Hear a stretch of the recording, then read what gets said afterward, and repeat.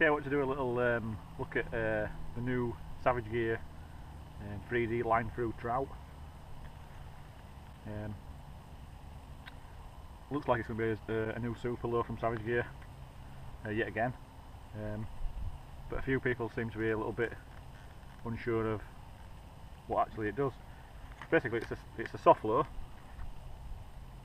Um, comes in three sizes. Uh, I think it's 15 centimeter, 20, and 30 centimetre. These are the, the 20 centimetre version, pretty much as big as your hand. Um, each one's got its own weight and, and uh, there's two categories of weight. So um, you've got um, a slow sink,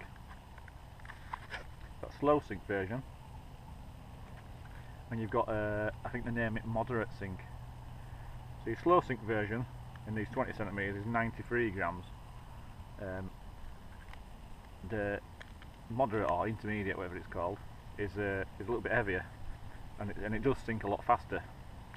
Obviously, there's no there's no obvious difference in them both. Uh, that's a light version, that's heavy version. The light version, the slow sink version, um, is really good for shallow water.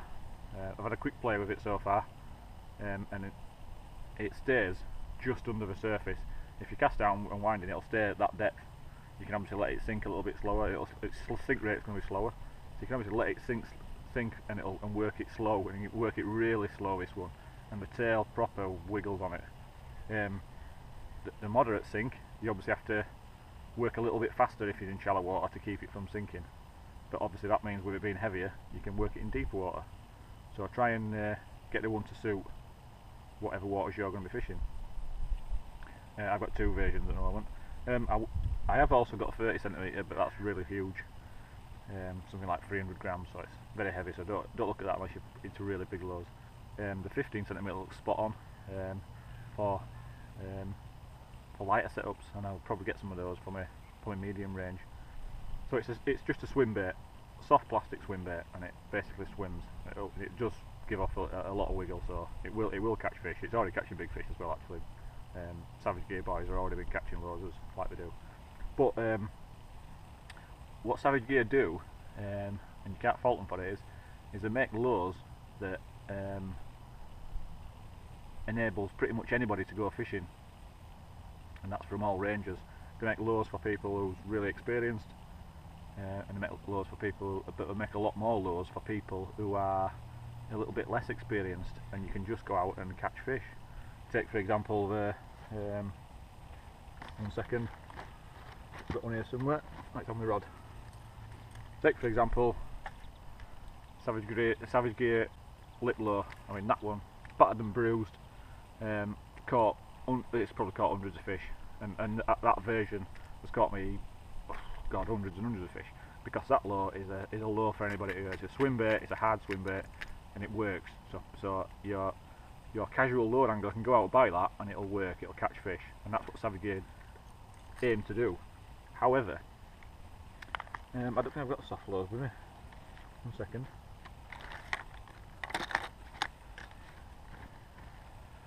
No, I, I haven't got a soft soft lure with me, but the, the previous soft lures that you still you can still get the Savage Gear soft lure play. Uh, another version of lure that you can just go out and buy and catch fish. Soft lure. It comes uh, in a couple of formats where you can just use a jig head or the uh, the Savage Gear four play harness and lip sculls, and it allows um, your average angler to just go out and fish, put on put on a, a rig, and away they go. They don't have to mess about making things and changing things. So, your new let's talk about the new one. Your new one comes strangely for some people already with a wire trace on it, and that's why it's called the line through trout. And the idea of this line through trout, um, you can see the hook system there. You've got a treble hook mounted under the body and a, and a hook is bedded. And you've got a, sing, a single stinger. And basically when you hook up the idea of this is let's say one of those hooks is in into your fish. The trout lure can slide up and down this. And that basically means your fish has got hold of your, your hooks like that in there. And your trout is free of the mouth and the teeth and as it shakes its head um, those hooks um, are away from the body, and that, that means that the, the the fish's mouth and teeth are away from from the lure. So your lure um, lasts longer. You don't because it's soft lure, they get they get cut up. Um, it'll last longer, and also that weight of the lure because it's a, because it's a big lure, it can't use it as momentum to as sorry as leverage to get it out of the, the fish. So that's that's the idea of it, and that's your that's your line through trout. Um, a great idea, a gimmick. Some people already use this idea, um, but Savage Gear are now bringing it out for everybody else to use. But what you've got to think about is this: with as with most wire tracers, they're going to get they're going to get a little bit battered and bruised. Now this one I have I have used and caught fish on it. So if we have a look at the wire trace on it, hopefully you can see the wire trace is a little bit bent, a little bit kinked. Hopefully you can see this.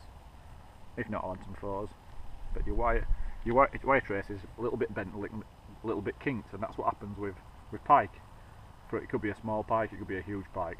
In fact, it's usually a small pike, usually a Tintanecker mess. So,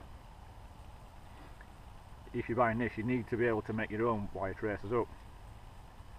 Uh, I can't remember exactly what what it, what it comes with, but it's probably like something like 49 strand uh, wire, and it's just crimped and tied on. Now there is a, there is a Savage Gear um, video where it shows you how to make make up a trace. So I'm not going to go through that. There's no need for me to go through that. But you need to look and, and learn how to make traces. Some people, um,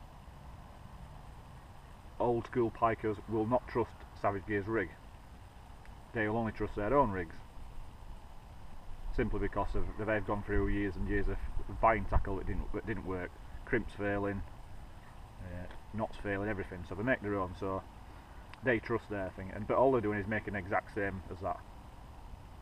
So you need to make sure you can make make up a new trace for it, because that that that will last. There's no there's no obvious damages, but it's slightly just chewed up a little bit. There's no obvious damage to it but you need to be able to make them simple as that because that trace will not last forever. Compare compared it with um, a, a, titanium wire trace. Now this titanium wire trace, uh, these are made by a guy called Chico, Chico's UK, and he sells those at something like six pound each, and that's titanium trace, and you can just see one tiny bend in that, and that's that's it. Now that fish, that, that, that fish, that trace has probably caught me I don't know, every fish this year. Every pike this year that I've caught on my heavy gear, that's caught it. And that's as much as, as bad as it is. And the only thing I ever do is change the clip every now and again. So, a few people have, have started experimenting by making the traces out of titanium. I don't know if it works any better, I haven't tried that yet, but it's something I might look at and do myself. Um, and the other thing you need to think about is, let's say I'm fishing which I am do, and I want, to put my 4-play on. Sorry, not my 4-play, my 3D trout. Take my 4-play off, put a 3D trout on.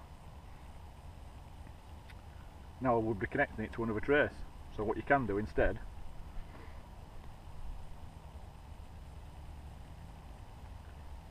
instead of tying your trace to your, to your line just tie a clip to your line that's what I've done tie a clip to my line so I can take this trace off this stiff titanium trace and just put that line through back on. And that's it. That's what I've, I've done. Um, I would I would recommend these um, those clips are what I use on all my tracers. They come on the Chico's ones but I always buy spares as well. I buy uh, spares from um, from Dave Lum Dale Specialist Tackle online.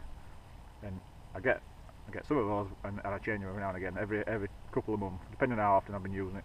Because every time you open them or close them uh, you weaken the link. And that's a line through trout. Um, I'm not going to mess about showing you too much underwater footage. Uh, well, actually I'll have a go, but if it comes out I don't know. But I'll have a go a little bit, but same again. Um, Savage Gear have got that covered. They've got the new Waterwolf camera. Um, they've got some underwater footage, they've got underwater takes already with these, so there's no point me covering that. But I'll just give you my opinion from my view, and that's going to catch fish. Um, you'll see in a couple of little short clips. Um, it's caught fish already for me. I've hardly used it to be honest because I've, just struggled to get out. But it's caught fish for me, and, and so far each one has um, it- it's come away. It's it's been hooked. It's actually been hooked in the in the single, right in the bottom of the lip. It's been hooked just there on the fish, and that's been that comes away free. So um, the only other thing to tell you as well, which I forgot, is um, the wire thread through the body. But there's a hole at the top and a hole at the bottom. It's pretty much got a Y Y shape in there, so you can thread the lure through the bottom and set it up underneath,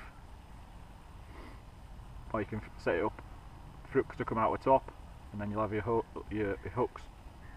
So it's got a hole as well, and your hooks will be mounted on top like that, and that'll allow you to you, to bounce your lure across things, across snags, and not get not get caught in weed or on rocks on the bottom and things like that. Um, so that's another way you can do it. So, so by ma- so by being able to uh, make your own tracers, you can rig it up how you want. You could rig a couple up. You can you can get a couple and have one rigged on the bottom, one rigged on the top, or whatever. Um, to be honest, I don't think it'll make a difference to the hookup rate if you're on the top or the bottom. So you could even just go for the top. Makes no difference. Um, but that's going to be a great lure uh, and should catch fish.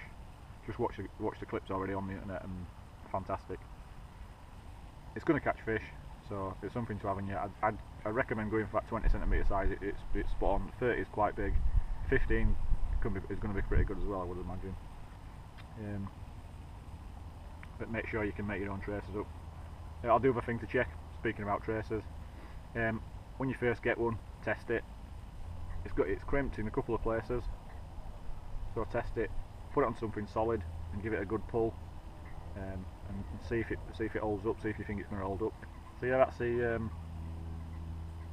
Savage Gear line through trout. Uh, I'll hope to do more videos. Hopefully, I'll catch some fish on it when I get when I can get a chance to get on on the river and it's not either a colour of mud, and when it's not actually when it's actually fishing well at the moment, it's not doing too good. Hopefully, I'll be able to catch some fish on these. Um, in the meantime, catch them yourself and put some pictures up on the, on my Facebook page or anything. And um, if you if you haven't got them, you need to buy them. You can always go to Lure Lounge, check out Lure Lounge. Um, they've already got these these 20 centimeter versions in. I think they've got I think they've got the slow sink version, which is, is similar to the for the soft four play in, in the, the depths that it works. So if you're already using that sort of low, get the get the slow sink from Martin at, at Lure Lounge, um, and you'll catch fish. And if you don't catch fish, at least you'll enjoy it watching how lifelike that is. Closest thing in low fishing to um, live baiting. in fact, uh, I might actually put it under a float and see what happens.